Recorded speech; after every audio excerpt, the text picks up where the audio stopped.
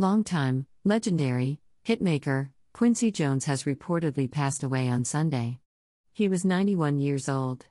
A report from 6 ABC Action News said Jones passed away at his home in Bel Air, California on Sunday night. Jones was surrounded by friends and family during his last moments, according to Jones' publicist, Arnold Robinson, who was first to break the sad news to the public.